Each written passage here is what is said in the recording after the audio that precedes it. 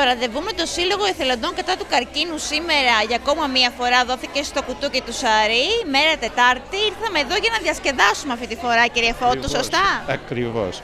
Για να διασκεδάσουμε, γιατί δυστυχώς όλο τον χρόνο είμαστε με τα δύσκολα. Ε, γιατί με το αντικείμενο που ε, ασχολούμαστε έχει πολύ πόνο, πολύ δυσκολία και σήμερα θα το θα ξεδώσουμε.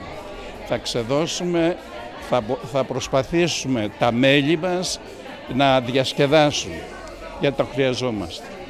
Και μάλιστα σε αυτόν τον φιλόξενο χώρο, στο φιλόξενο χώρο του Γιάννη του Σαρή, που σε όλες τις εκδηλώσεις κάθονται, είναι δίπλα μας και μπορώ να πω ότι την τελευταία φορά έκανε μια ε, φοβερή χορηγία με την οποία μας δίνει δυνατότητες για να κάνουμε καινούρια πράγματα, να προσφέρουμε καινούρια, ε, καινούριες λύσεις και προληπτικές εξετάσεις στους καβαλιώτες.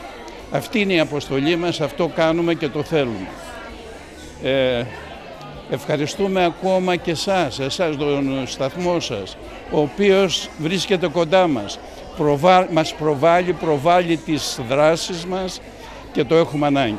Ο Σύλλογος Εθελοντών κατά του καρκίνου νομού Καβάλα πραγματοποίησε την Τετάρτη το απόγευμα στις 26 Φεβρουαρίου. Μία βραδιά με ζωντανή μουσική όπου διασκέδασαν και έμεινε αξέχαστη σε όλους όσους βρέθηκαν εκεί. Για ακόμα μία Τετάρτη έχουμε μαζευτεί στο κουτούκι του Σαρή. Για ποιο λόγο αυτή τη φορά, κύριε Κολοσσή. Αυτή τη φορά είναι για να διασκεδάσουμε. Απόκριες έχουμε.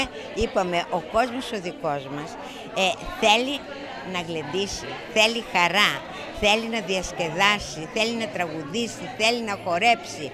Όταν κάποιος περάσει το λούκι και βγει από το λαβύρινθο του καρκίνου, τότε ξέρει ότι η ζωή είναι πολύ σύντομη και πολύ πολύτιμη.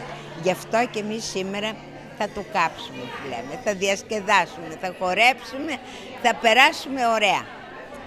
Καλές απόκριες. Ευκαιρία, καλές απόκριες και επειδή πια κοντεύει είναι η καθαρά Δευτέρα να πούμε και καλή Σαρακοστή.